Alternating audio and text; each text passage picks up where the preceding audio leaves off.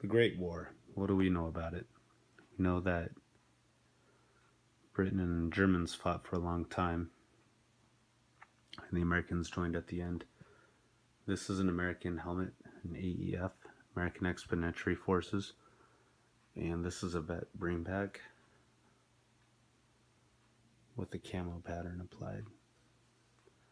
And it's well known that they did not camouflage, but there's a lot of mystery on this helmet.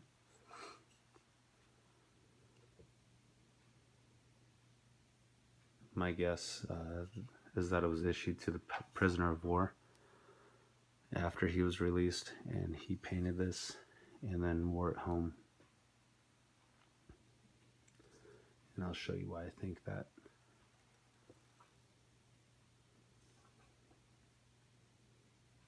Nice texture. Almost a mint condition helmet.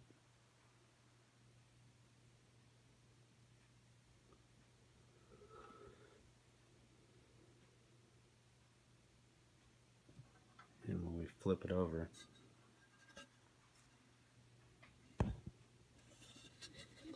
you can see that the artwork is done by Henry W. Let's turn it the other way. I can't make it out, but it looks like Henry W. Flea Biker, Fly Biker, Company B, 109th Ammunition Train, AEF, France.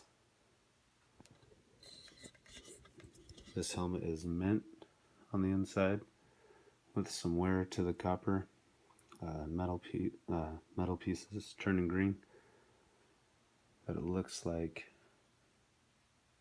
Viet Grug's Prisoner of War Comp 6. Can see the helmet is absolutely mint. And I won't flip it, but the uh, maker is J.H. Long, and there's a date of 718. Nice original paint on the underneath and the stamping, let's turn it around again. Stamping on the rim, ZA189.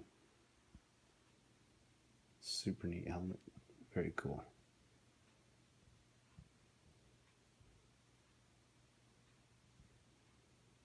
I'll be careful putting them back up here.